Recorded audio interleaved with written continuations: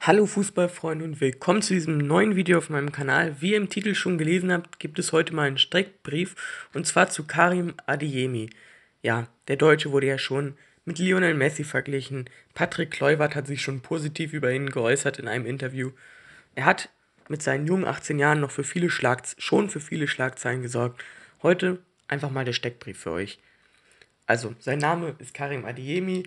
Sein Marktwert beträgt bei transfermarkt.de 6,7 Millionen Euro, was nicht gerade wenig ist. Sein Alter, er ist 18 Jahre alt, habe ich ja eben schon erwähnt.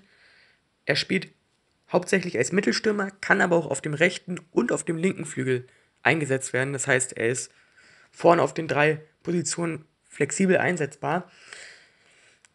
Die Saison war für ihn sehr erfolgreich. Sie begann für ihn in der zweiten Mannschaft. Also er spielt bei RB Salzburg, spielte da erstmal in der zweiten Mannschaft von RB in der zweiten österreichischen Liga. Dort schoss er in 14 Spielen 9 Tore und machte 8 Vorlagen. Also 17 Scorer in 14 Spielen ist schon echt stark. Klar, es ist die zweite österreichische Bundesliga, aber das ist schon echt stark. Also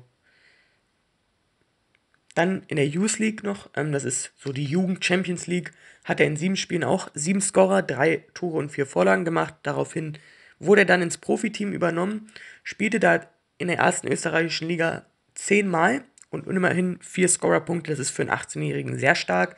Ein Tor und drei Vorlagen. Er konnte unter anderem auch schon in der Euro Euroleague einen Einsatz bekommen und wie gesagt, also es verläuft, seine Karriere verläuft sehr erfolgreich. Er könnte der nächste Gerd Müller werden.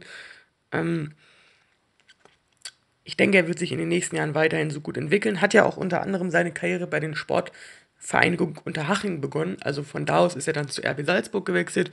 Das war's mit dem Video. Wenn ihr öfters solche Steckbriefe sehen wollt, lasst gerne ein Like auf dem Video da und ein Abo. Würde mich, wie gesagt, sehr freuen und danke für die 200 Abonnenten nochmal.